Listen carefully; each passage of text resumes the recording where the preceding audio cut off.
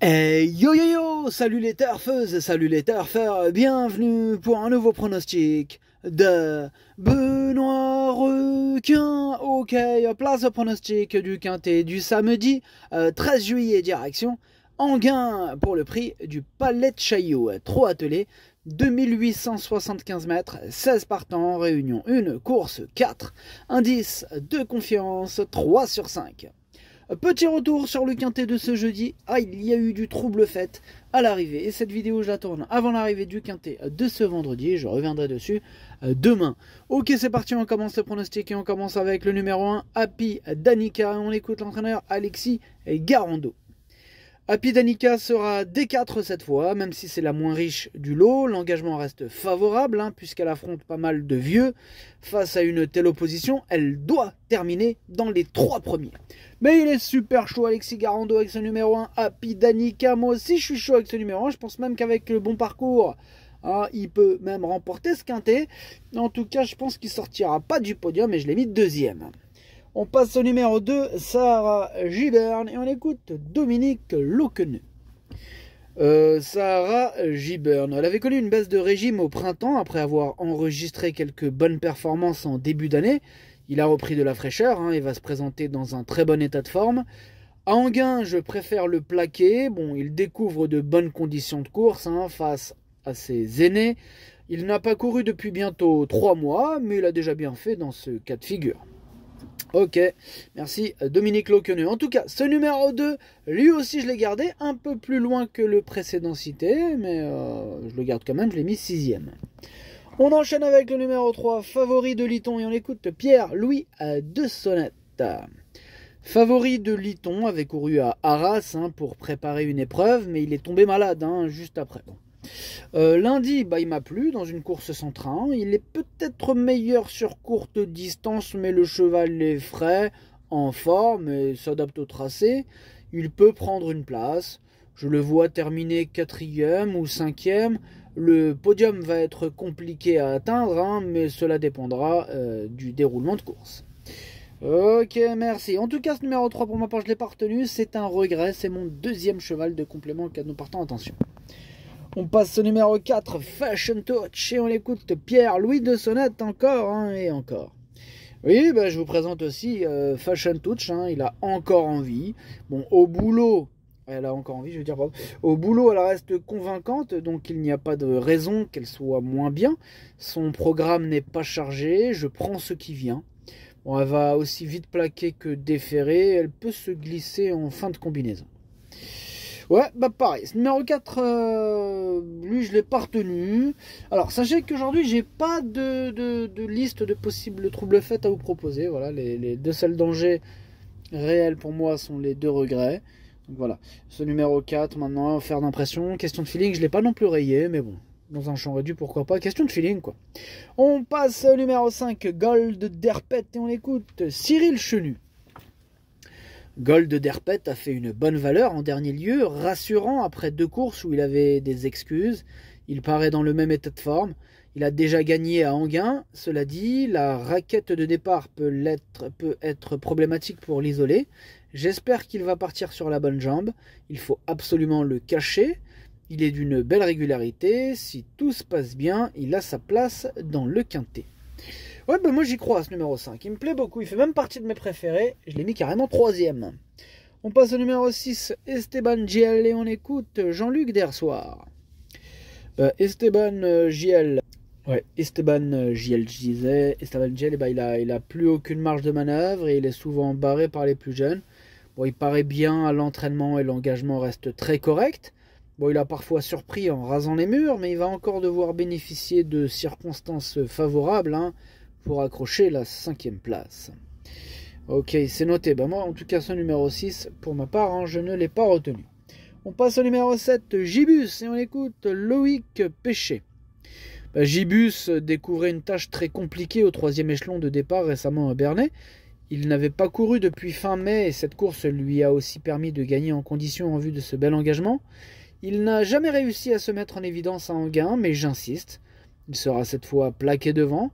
Sa forme est sûre, j'espère qu'il va se réhabiliter.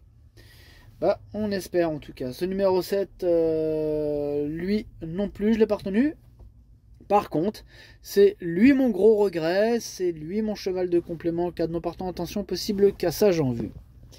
On passe au numéro 8, Guevara Dupont, et on écoute Yannick Henry.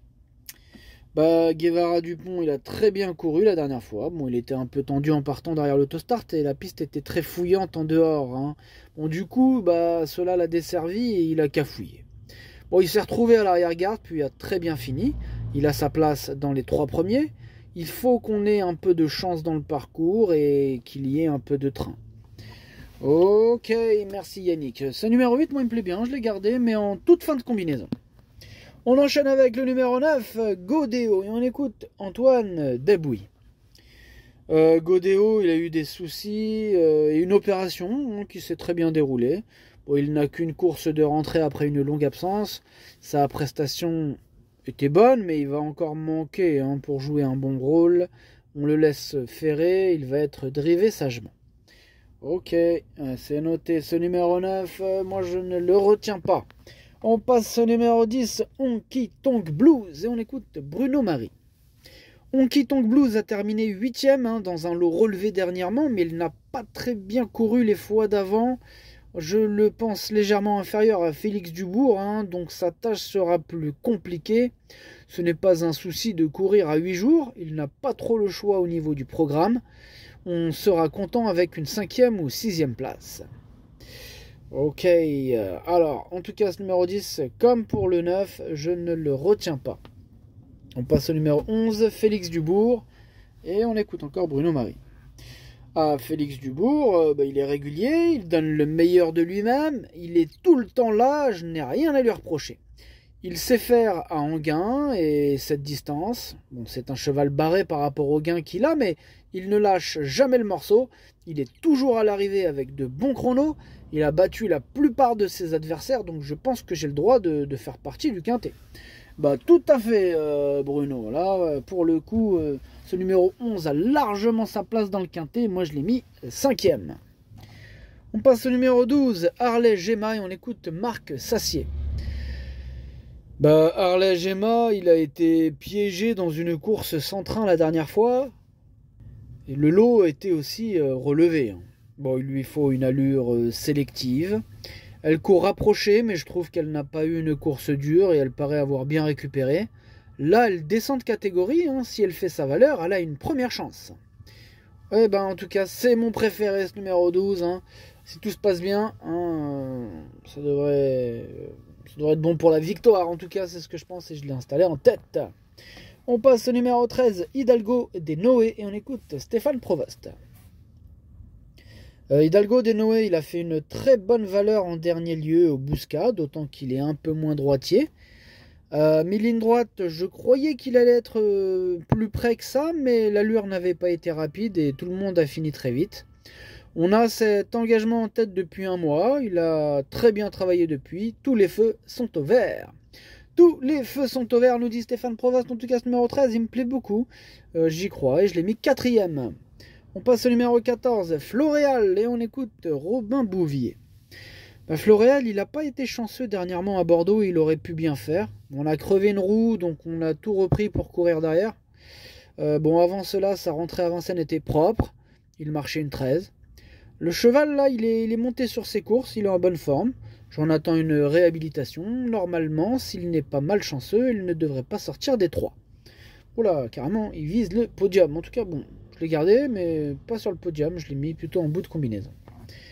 On enchaîne avec le numéro 15, Espace Winner, et on écoute Léo Abrivard. Espace Winner n'a pas démérité dernièrement sous la selle dans un très bon lot. Euh, L'athlé, il n'est pas aussi performant. Bon, il a pris beaucoup de gains hein, et les tâches se compliquent sérieusement. Il est bien engagé et sera muni de sa ferrure de course, mais il aura du mal à terminer dans les 5 premiers. Ok, bien noté euh, Léo. Ce numéro 15, moi je l'ai pas retenu. Et on termine avec le numéro 16, Equinox JL, et on écoute Jean-Luc Dersoir. Bah, Equinox JL, il a beaucoup de mal à retrouver la bonne carburation après avoir été opéré. Seule la compétition va l'aider à gagner en conditions. Samedi, il est idéalement engagé au plafond des gains, mais il affronte des plus jeunes en pleine forme. Sans en faire un interdit, je pense qu'il aura du mal à se mettre en évidence. Il sera présenté ensuite au trop monté. Ouais, bah, je suis plutôt d'accord. Moi, ce numéro, ça, je l'ai pas retenu, mais je l'ai pas non plus rayé. Voilà, donc affaire d'impression. Question de feeling. Hein. Pour les amateurs de champ réduit, de cote, cas de défaillance. Voilà, question de feeling. Le pronostic, ça donne 12, As, 5, 13, 11, 2, 14, 8. Merci d'avoir suivi cette vidéo. N'hésitez pas à mettre un pouce bleu si la vidéo vous a plu. Pour accéder à tous mes tickets pour la course du Quintet, rendez-vous directement en description de la vidéo. À jouer avec modération. Bonne chance. Chopez-le moi. Ciao